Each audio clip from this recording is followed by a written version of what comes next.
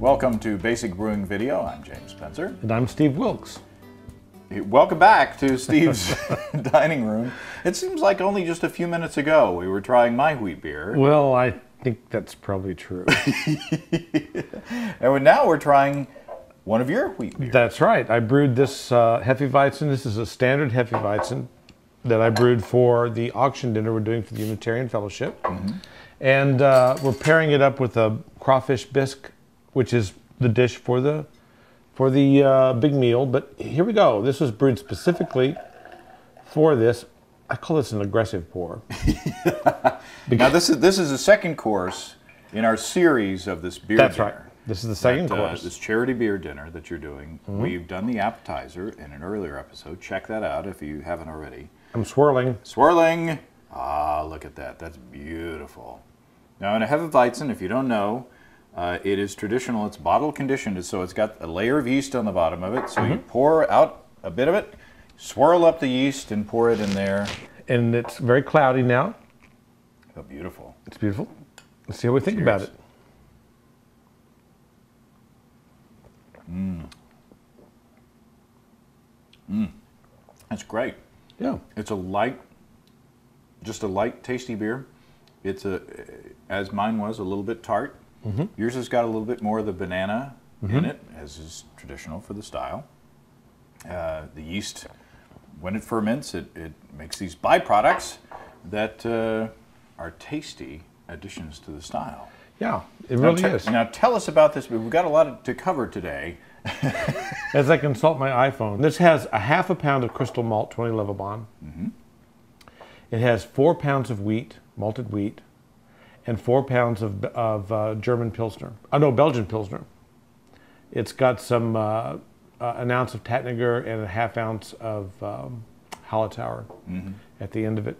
So uh, about 20 IBUs. And the yeast that I used in this was a um, White Labs uh, P300 Hefeweizen ale yeast. Oh, there you go. So that's the beer. Uh, very simple beer, very straight ahead. Uh, what I 4.2 I think alcohol wow. ABV. So a great summer beer. Yeah. Mm. It's very clean. It's very easy. So what? German dog to go with the German beer. So what? that's right, that's right. so what do we have? We have here to eat with it. Well, this is a this is a crab bisque. That uh, uh, is well. Let me taste it. Not crab bisque, a crawfish bisque had crab on my mind. What do you mm. think? Very good. Now run us through.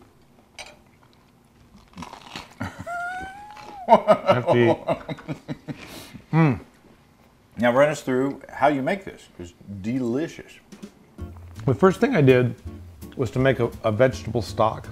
In another pan, I cooked down a cup of dried carrots, a cup of diced leek, a cup of diced celery, a cup of diced tomatoes with the juice. Actually, actually, I shouldn't say a cup. It's actually a small can of, of them. I just use the whole can. A cup of chopped scallion, a heaping tablespoon of tomato paste, um, and a tablespoon of Worcestershire sauce. And uh, that with about a tablespoon of olive oil, and I let that cook and just kind of get translucent. I added uh, three or four cups of the stock to that pan and let that cook down for a few minutes until the vegetables got nice and soft. Then pureed all that, pureed all that up, and then strained that. And I got all the kind of fibrous stuff out of it so that we had this just lovely, thick vegetable sauce, really. To that, I added two tablespoons of butter. So I put it on the stove, heated it up, added a couple tablespoons of butter to that, let that cook for a little bit, and then added flour into that to make essentially a roux, even though it had a lot of other stuff in it, but that made the thickening agent. I could have made a roux, a, a traditional roux with just flour and just uh, fat, and then added the other to it, but it was just convenient to do it this way. I don't think it affects the flavor at all. It's just how I did it. Uh, so once I had the roux and the thickening agent together, then I added in enough stock to bring it to the consistency that I wanted. So I wasn't so concerned with whether it was six cups or seven cups or eight cups. I was concerned with how thick soup was. Um, I chose to make it relatively thin, and oh, and two cups of excuse me, and two cups of milk. Let that cook for just a few minutes. Added the eight ounces of crawfish into it. Let that come up to heat. The crawfish are already cooked. You don't have to cook them anymore. At least ones that I've gotten. If, if you happen to get your own fresh crawfish, well, okay, so cook them for three or four minutes, but they don't take any time.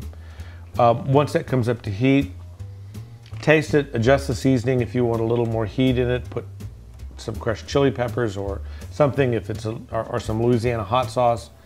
And then I paired that with a, a, toast, which I made in anchovy butter, by just taking three or four anchovy uh, fillets in a couple tablespoons of butter, melting that down and cooking it until the anchovy just it'll just melt away. So, and then I spread that on the bread on a sourdough baguette, mm. broiled it for a few minutes so it toasted up, paired that together.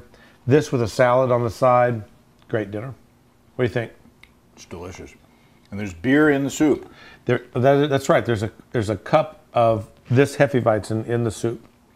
Thanks for reminding me. It's delicious, and it's the salty uh, toast because the the uh, anchovies are salty. Mm-hmm. Salty toast with this delicious uh, seafood soup, and then I wouldn't have thought to pair uh, Hefeweizen with seafood for some reason, but it goes very well. It's very light and kind of clears the palate.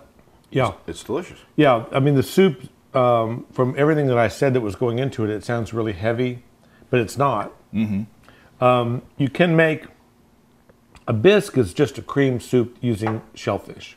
That's what bisque is. And I made this with milk rather than half and half or heavy cream. Mm-hmm. Kept it a little lighter. If you wanted this to be really rich and really thick, it, which is great, but maybe something you might want to serve in the wintertime, say, say for a holiday meal. But I wanted this to be a little bit lighter. And I, I agree, I, I, just felt like the, the light, crisp, refreshing flavor of this Hefeweizen would work really well with this soup, and I think it does. Mm, it's delicious.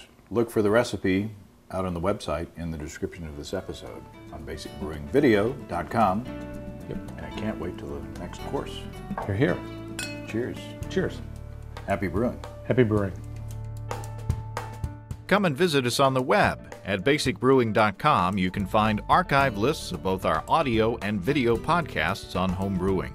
You can also find our DVDs Introduction to Extract Home Brewing, Stepping into All Grain, Low Tech Lagering and Decoction Mashing, and our latest edition, Introduction to Wine Kits. Drop us a line, we'd love to hear from you. Write to james at basicbrewing.com, steve at basicbrewing.com, or just use the contact form on basicbrewing.com. I'm sorry that went a little long. That's what she said.